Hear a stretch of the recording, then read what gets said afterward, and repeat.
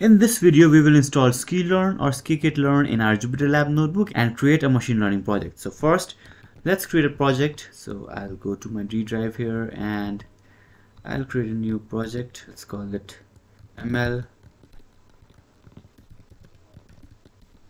Once the project is ready, go inside this folder and now we need to create a virtual environment and install sklearn in that virtual environment and use that virtual environment as our kernel for our Jupyter notebook. First, let's open Jupyter Lab and see what kernels we have available.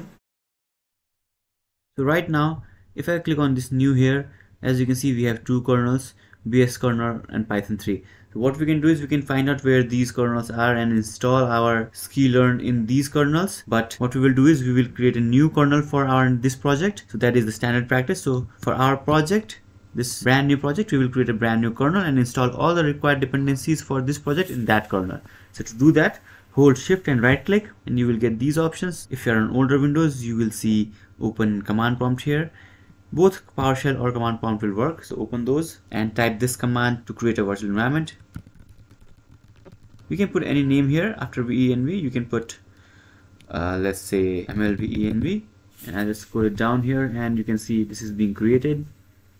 And once the virtual environment is created, the next very important step is to not forget to activate the virtual environment. So to activate it, just type the folder name that we just created, hit tab and inside write sc and hit tab again and then act and then tab again.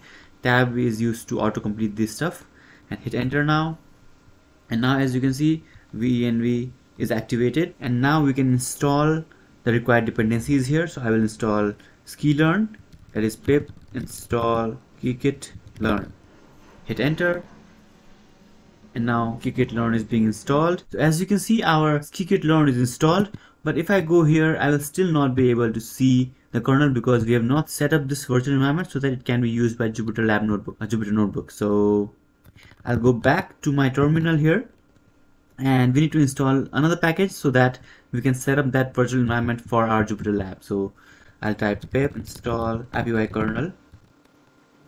After IPY kernel is installed, we need to set up IPY kernel so that it can be used as a kernel. So what you need to do is you need to type this command python m ipy kernel install dash dash user dash dash name and we need to set up a username uh, not username we need to set up the name here and this name will be shown in our kernels list here. So i'll write sklearn kernel and hit enter and now as you can see it is showing kernel spec is installed in this directory now if I go back to my Jupyter notebook and reload this I click here as you can see this is now available and we can use this to create a new notebook and we will have our sklearn installed in this notebook or in this kernel. So if you want to install any other things for this kernel you can just activate this virtual environment and install it here and it will be available in this notebook that is using this kernel. So let's try the sample code using sklearn this is the sample code. Let's hit enter. Control and enter to run this and now as you can see I'm getting error matplotlib is also not found and we also don't have numpy installed in it. So if you are using sklearn you will most probably need numpy and matplotlib too so we will install that using pip install matplotlib and we will also install pip install numpy. And now everything is installed. Now let's run this again and it will work.